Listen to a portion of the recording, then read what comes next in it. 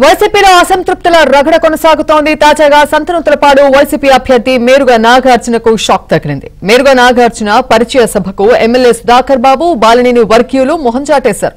మరోవైపు ఒంగోలు ఎంపీ మాగుంటను పక్కన పెట్టేశారు. కొండపి అభ్యర్థి ఆదిమూలపు సురేష్ పరిచయ కార్యక్రమానికి ఎంపీ మాగుంటని వైసీపీ నేతలు కనీసం మాట వరుసకు కూడా పిలవలేదు. దీంతో మాగుంట కేవలం ఒంగోలుకే పరిమితమయ్యారు.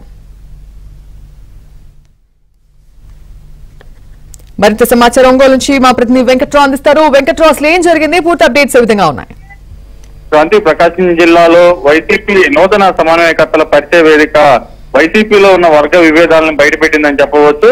సందనూతులపాడు సిట్టింగ్ ఎమ్మెల్యే సుధాకర్ బాబుని పక్కన పెట్టి ఆయన స్థానంలో వేమూరులో ఉన్న మేరు నాగార్జుని మంత్రి ఆ, మేరు నాగార్జుని ఇక్కడ సమన్వయకర్తగా నియమించారు. ఈ రోజు ఆ, వైసీపీ రీజనల్ కోఆర్డినేటర్ విజయసాయి రెడ్డి ఆధ్వర్యంలో ఒంగోలులోని ఫంక్షన్ హాల్లో ఆ, సందనూతులపాడు వైసీపీ నాయకులు అదేవిధంగా కార్యకర్తలతోటి సమావేశం నిర్వహించారు. అయితే సమావేశానికి సిట్టింగ్ ఎమ్మెల్యే సుధాకర్ బాబు మోహన్ చాటేశారు. దీంతో పాటు మేరు నాగార్జున్ వ్యతిరేకిస్తున్న ఇటు ఒంగోలు మాజీ మంత్రి బాలినేని శ్రీనివాస్ రెడ్డి కూడా పిలుపు ఉన్నా కానీ ఆయన సమావేశానికి హాజరు కాలేదు. అదేవిధంగా ఆయన వర్గీయులు కూడా సమావేశానికి హాజరు కాలేదు. దీంతో పాటు కొండేపిలో మంత్రి ఆదిమూలపు సురేష్ని ఎర్రగొండపాలెం నుంచి ఆయన కొండేపి సమన్వయకర్తగా నియమించారు. అయితే ఆయన పరిచయ పరిచయ వేదిక కూడా ఇలాంటి పరిస్థితి నెలకొంది. మాజీ మంత్రి బాలినేని శ్రీనివాసరెడ్డికి ఆహ్వానం ఉన్నా కానీ ఆయన అక్కడికి మోహన్ చాటేశారు దీంతో పాటు బాలినేని వర్గీయులు అదేవిధంగా మాజీ ఇన్ఛార్జి డాక్టర్ వెంకయ్య వర్గీయులు కూడా ఆ సమావేశానికి ముఖం చాటేశారు దీంతో పాటు ఇటు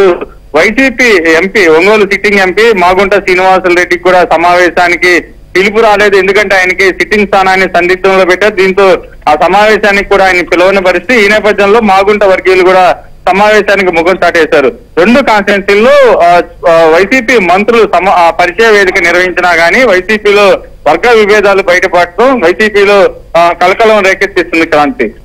Right Venkatrao thank you